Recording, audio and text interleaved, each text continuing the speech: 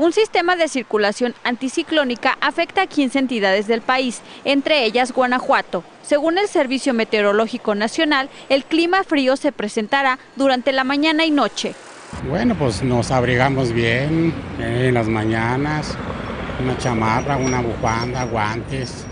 La población de León recuerda que los niños y los adultos mayores requieren de cuidados especiales. Bueno, que saquen a los niños bien abrigados, a las personas de la tercera edad, es que, que tomen alimentos como frutas, verduras, principalmente aquellos que contienen ácidos como el jugo de naranja, el limón, agua de limón por ejemplo. Y este, bueno, en las noches también hay que abrigar bien a las criaturas y a los adultos mayores. Pues abrigarse bien principalmente, este, consum- consumir eh, vitamina E, eh, vacunarse contra la, contra la, influenza.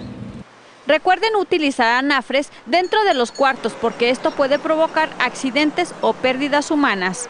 Con imágenes de Juan Regalado, Cristina Solís, Noticieros Televisa.